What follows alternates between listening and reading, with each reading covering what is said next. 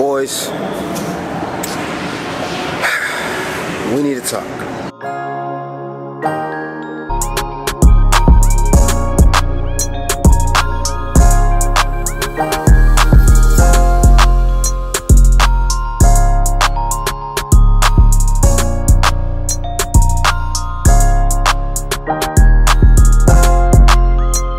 Y'all, what is good and welcome back to yet again another episode of JI Productions. It's your boy JI and I'm back at it again with another banger for y'all. As you guys can see, we got Mamba behind us. He's not gone, he's still here.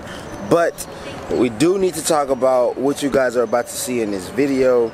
So, for that like two to three week span of me not uploading, I kind of went shopping, okay? The used car market right now is at an all-time high. You can go and get your car appraised and I guarantee you if you bought that car within a year or two years ago, you know what I'm saying, and you haven't put that many miles on it, you'll probably see some money back or a good amount on that appraisal. Now, with that being said, I thought, you know what, why not shoot my shot and get Mamba appraised? It is a 2015 2SS, however, it does have over 100,000 miles. Um, and it is slightly modified, but to a dealership standpoint, it's heavily modified. Um, so that also plays a factor. Now, I say, you know what, let's go see what they'll say. So, I started shopping, looking for the car that, you know I'm saying, I wanted after countless and countless, countless, countless hours, you dig what I'm saying, finally found one in my price range um, with the transmission I wanted. The color was not what I wanted, but I definitely could make it work. Um, and it looked good. And ironically, it was at the CarMax dealership that I bought good old Mamba from. You dig what I'm saying? So I was like, what, um, what crazier or what better to do than trade Mamba into the dealership that bought Hazel for an astronomical price. Um, trade him into the dealership that bought him and you know what I'm saying drive off the lot one year later in another SS except a manual so you know what I'm saying? You know pulled all my chips together and whatnot. And on Saturday um, right after work you feel me I took the front lip off. As you guys can see it's not on the car. I took the front lip off. Um, I took the wheels off. I put on the stock wheels I believe. Um, and I did something else. And me and my girl we drove up to CarMax uh, you know what I'm saying? And we went to go get the car appraised now they ended up giving me 18.5 for Mamba you feel me which is not bad I financed the car for 21,000 so if you think about it one year later, over 100,000 miles, um, and heavily modified on bag. That's not a bad amount. So I say, you know what? Let me go test drive the car, see if it runs how it's supposed to run, and see if I actually like it. So that's what we did. All right, y'all. So on the test drive right now, man, I cannot cap. Gearbox is smooth as hell. Feels good. Watch this downshift the downshift a little bit. Crack the window.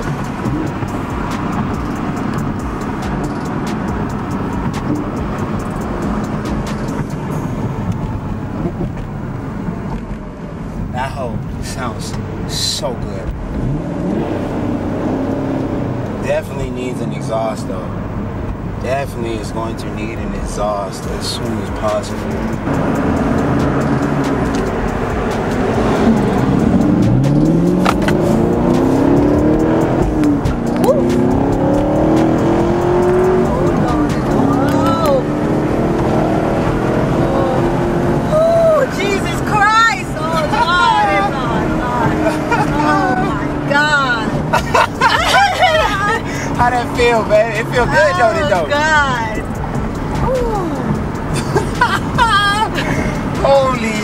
shit. This hole. Ooh. Why did downshift? Why did downshift, babe? Why did downshift? Let me I downshift. don't want to watch you downshift. Yeah. They ask you how you are, and you just have to say that you're fine when you're not really fine, but you just can't get into it because they would never understand. Oh, I be downshift? Why not? God, thank you. That hole. We're gonna make one more. Think we got enough time? Holy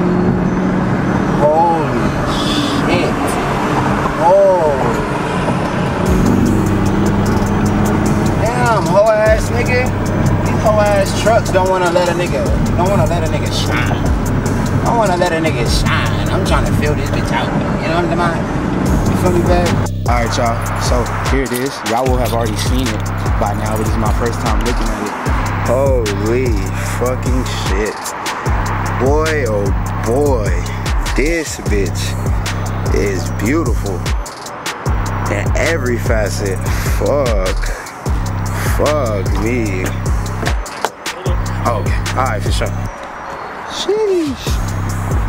Sheesh. Sheesh. Oh my goodness. It's crazy. Mike and uh and Lil Wayne used to work with my dad. Yeah. 17? Yeah. Should have like 23 miles on it. I'm just making sure. Got some imperfections in the paint. You Nothing got a stick? Yeah, hell yeah. Five minutes later. Oh!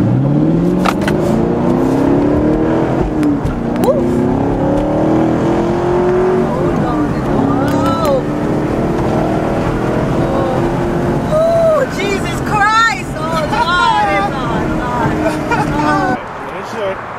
Got a little bit of rock chippage. Paint. Let's get in for the first time. Ooh-wee. I got you. Okay, so first start up, y'all.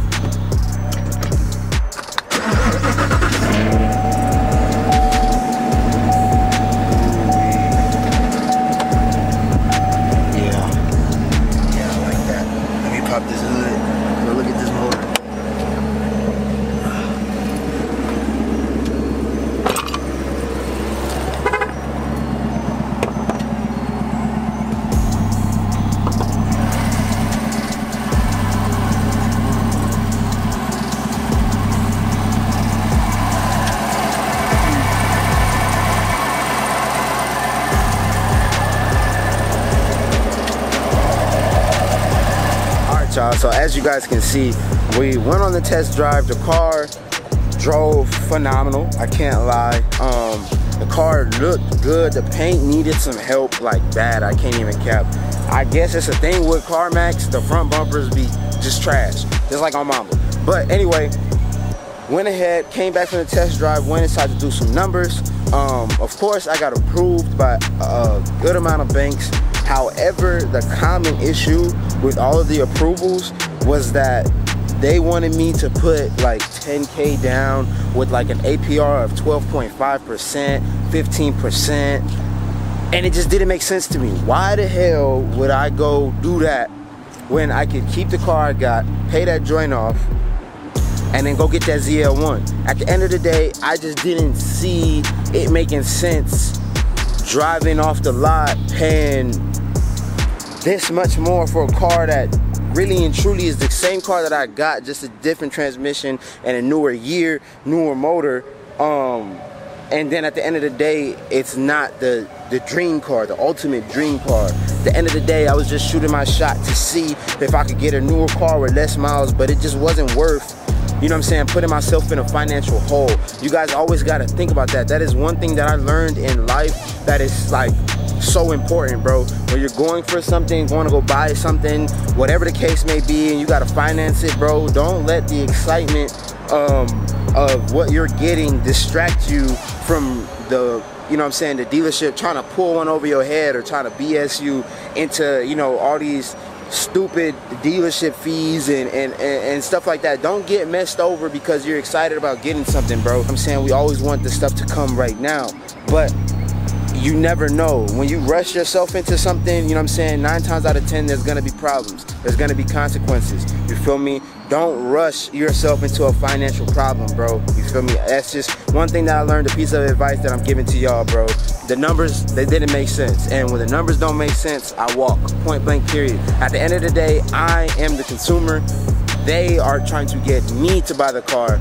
I'm not gonna abide by what they want. You know what I'm saying? I'm not gonna fall into what they want. We're not gonna go off of their terms when they're trying to sell me the car. I'm the consumer. They gotta make me happy. The numbers gotta make me happy. We're gonna do what I wanna do. You know what I'm saying? So y'all just remember that when buying cars or buying anything, really and truly.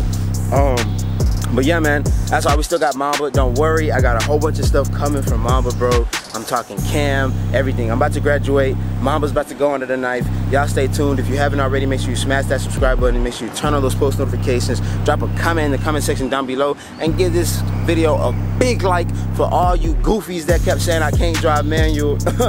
Prime example, your boy can drive anything. Stop capping with me. Oh, one more thing. I also changed my Instagram name. It is no longer JI underscore productions underscore underscore. It is now JI productions underscore. There's one other dude who has that name, but he doesn't use any of the accounts. He's also on YouTube and on Instagram, but he doesn't use none of the accounts. Like, bro, just change the name so I can keep it. I need to pattern it. Uh, if you guys know how to pattern the names or whatever, y'all let me know because I definitely need to do that because I'm the only JI Productions in this joint. I'll see y'all in the next one. Peace.